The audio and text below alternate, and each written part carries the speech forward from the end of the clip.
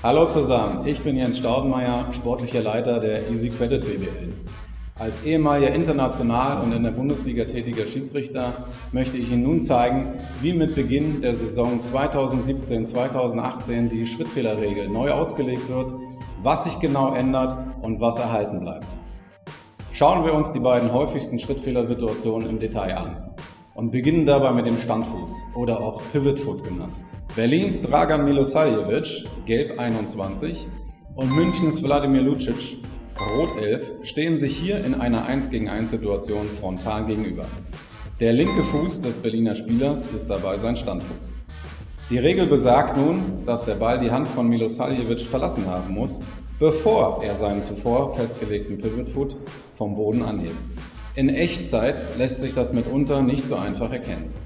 Schaut man sich jedoch das Video in der verlangsamten Wiederholung an, fällt auf, dass Milosavljevic zunächst seinen linken Standfuß anhebt, bevor der Ball seine Hand verlässt. Damit verschafft er sich einen nicht regelkonformen Vorteil. Der Schrittfehler wurde als solcher erkannt und entsprechend geahndet.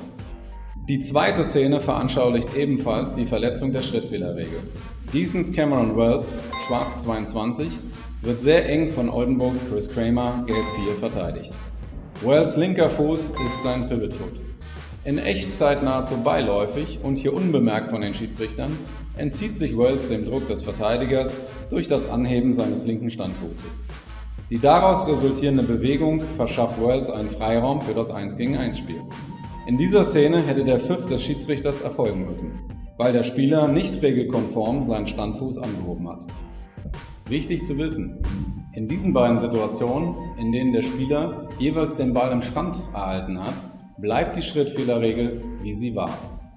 Kommen wir nun zur Änderung der Schrittfehlerregel, die zwei Situationen betreffen. Das Ende des Dribblings, wenn bei der Ballaufnahme ein Fuß am Boden verbleibt, und Situationen, in denen ein Spieler den Ball in der Bewegung erhält und bei der Ballaufnahme einen Fuß auf dem Boden hat. Das hört sich zunächst komplizierter an, als es tatsächlich ist. Lassen Sie uns auch dieses anhand einiger Beispiele zeigen.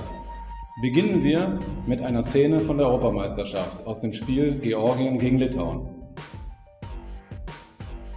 Georgiens Spieler Pachulia, Rot 7, vollendet den Korbwurf ohne zu dribbeln. Lassen Sie uns in der Verlangsamung anschauen, ob dieser Korb nach der neuen Schrittfehlerregel zählen darf oder nicht. Pachulia nimmt den Pass auf, dabei befindet sich sein linker Fuß auf dem Boden. Nach der neuen Regel sind nach dem Auftaktschritt, auch Gather Step genannt, noch zwei Schritte erlaubt, um zu werfen, zu passen oder abzustoppen. Der erste Schritt erfolgt hier mit dem rechten Fuß, danach folgt der zweite vor dem Wurf, wenn der linke Fuß den Boden berührt. Obwohl sich Pachulia durch die beiden Folgeschritte einen großen Raumgewinn verschafft, ist dies kein Verstoß gegen die neue Schrittfehlerregel. Im nächsten Beispiel Während eines typischen Schnellangriffes passt Bayreuths Bastian Dorit, Gelb 10, auf seinen Mitspieler Robin Amaze, Gelb 15. In diesem Beispiel erhält Amaze den Ball in der Bewegung. Sein linker Fuß befindet sich am Boden. Danach folgen zwei weitere Schritte, ehe der Abschluss erfolgt. Nach der neuen Schrittfehlerregel ist dies ebenfalls erlaubt, und zwar unabhängig davon, ob die beiden Schritte in die gleiche Richtung gehen. Als letztes Beispiel schauen wir auf den Spin Move, also den Versuch, mit einer Drehung um den Gegner herumzukommen. Bambergs Kapitän Elias Harris, Rot 20, täuscht in dieser Szene an, links an seinem Gegenspieler vorbeikommen zu wollen und dreht sich dann um diesen herum.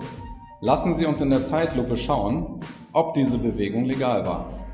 Der erste Schritt nach Ballaufnahme wird mit dem rechten Fuß ausgeführt.